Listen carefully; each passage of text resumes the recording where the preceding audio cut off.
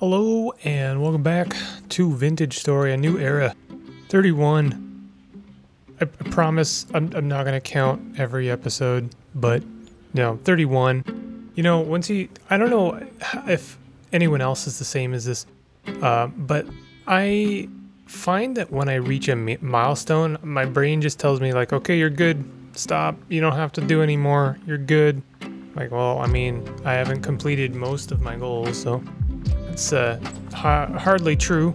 Anyway, we uh, I marked out, I signed uh, signed out our um, hide preparing area and uh, put some more roads down. We did some farming, we did some cooking. Isn't isn't this fun? Um, this series is basically becoming a vlog. It's it is a vlog. It's a vintage story log. It's more like a vlog, vlog. That's what it is. Um, so this is great. I, I actually intended to um, dig or mine up some lead. Put picked up the lead nugget and then dug like down for one block. Realized I had no pickaxe. Went to go make some and then I completely got distracted and uh, never went back to collect the lead. I swear to God, I do want to collect lead at some point, and for a specific reason is I want to make uh, leaded window panes. I kind of want to make the the cottage feel a little bit nicer and give it some give it some light and also be able to see all the creepy crawlies that are trying to murder me. I did a lot of collecting cattails, a lot of collecting cattails. And we're going to be collecting a lot of cattails because they are needed for these, uh, what are they called? Keps? Skeps? Skeps. I think they're called skeps. Um, the uh, the beehive there, you may have noticed for a split second, was uh, just about ready to populate, but I needed to kill some time, so I found myself a mine to go dig out. Needed some more borax. Borax is going to be one of those things I always need more of. So um, finding some right here was quite. The, can you can you stop? Jesus. Borax. No. Stop it. Yeah. It, no, what do you want? Okay. Um, Borax was going to be uh, the ticket for, for much of our leather curing.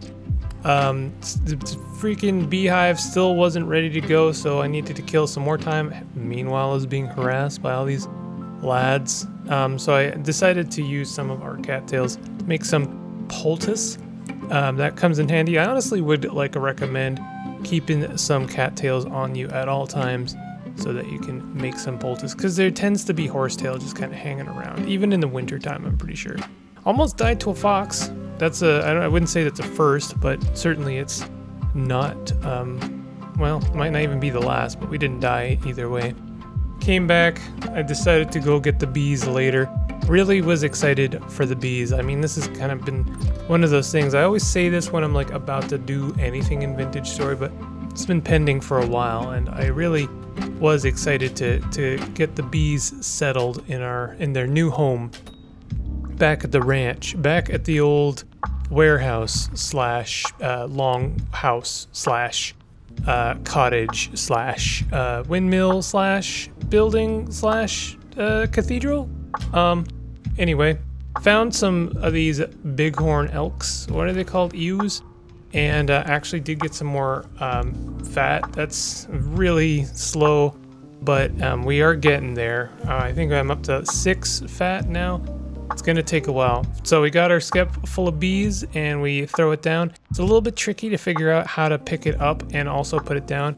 Like I said, it does take up a um, pocket, not not just like an inventory slot, but actually an inventory slot. Yeah, I know that's very good terminology we've got we've settled on that there but uh, yeah it's it's uh, you gotta figure out some fun new key shortcuts in vintage story that you basically never use and never will again in order to select specifically the inventory slot that the skep takes up and then uh, are able to place it down i recommend just kind of looking up the beekeeping part of the wiki or maybe my tutorial tips and tricks video if ever i make one Oh, no, no, no commitments.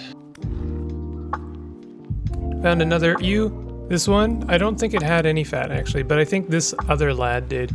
Um, I'm being careful, and I love how they all die in the water. It's just one of those things. They're they're actually catchable in the water, so that's why they all end up dying in the water. I am being careful to not kill any of the um, ewes or bighorns or whatever you want to call them um, near our base. Um, I really do I do want to do animal husbandry, animal husbandry with those. So I'm keeping in mind not to disturb the ones that are close by.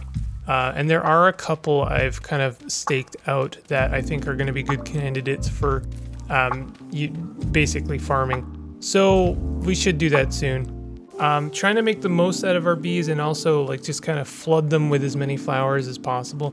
The more flowers you put down, the faster they'll um, their population will grow, and also the faster they will make honey, as well as the faster they will split.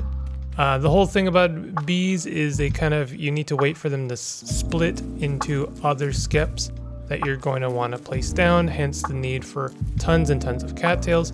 And um, once they've split, then they will eventually make honey, although it takes quite a long time to uh, for the skep to fill up. When you break the skep, the bees are gone, so you're definitely going to want to wait for them to populate their the local skeps before you um, break for the honey. Chances are that will happen if you do things properly though. I've been putting down the skeps um, with a two block of separation and then surrounding them with flowers. That was recommended to me by the wiki as well, so I'm just kind of following that. I think we found some more, is this quartz? We found some more quartz? Yes, um, I wanted to find specifically either gold or silver with a specific intention in mind. Um, I've come to desire a better lantern. And people told me that uh, silver and gold lanterns were better, and that is true. And not only are silver and gold lanterns better, but also lined lanterns. So if you line a lantern with either silver or gold, um, it will extend the range. So if you have a silver or gold lantern lined with silver or gold, then you are going to have a really nice lantern. Uh, I'm not making these for the base, I am making it for basically carrying around. Uh, and then I'll use or put the lantern I'm currently using in the base. Lanterns I think will eventually be our main light source.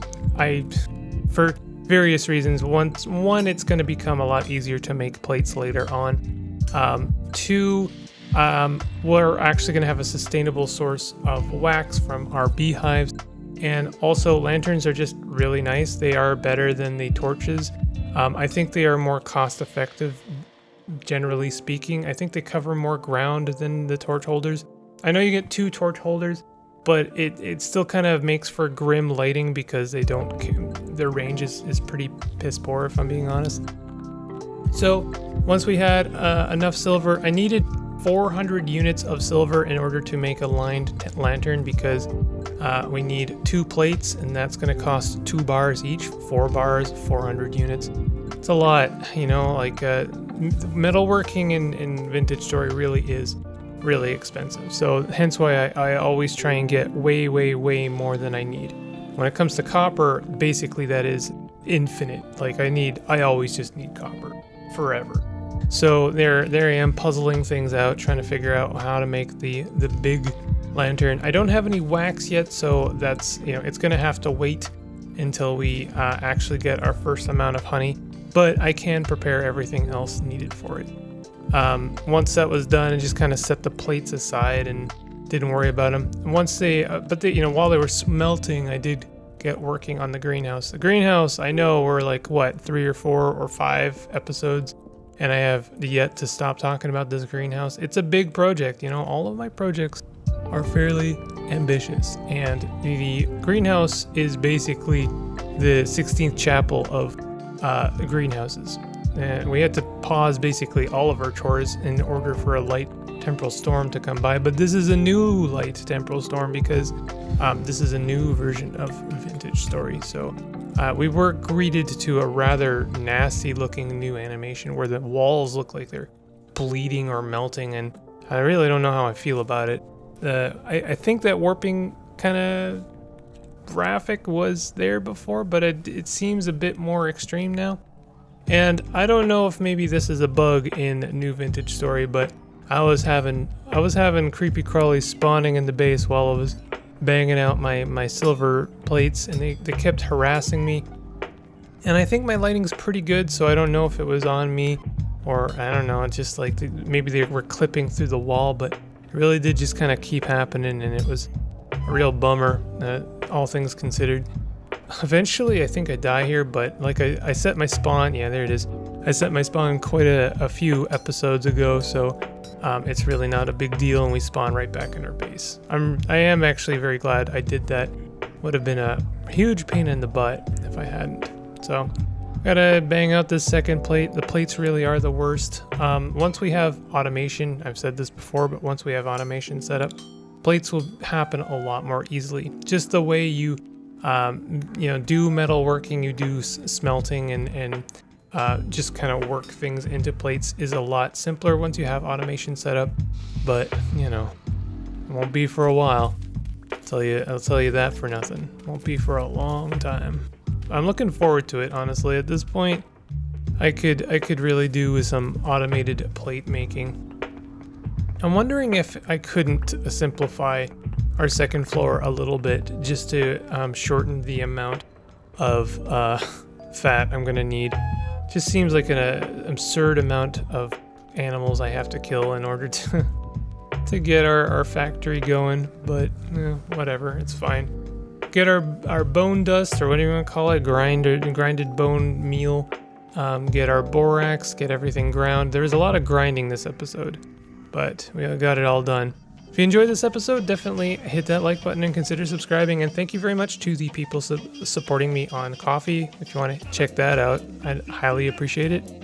Take it easy. I'll see you guys next time.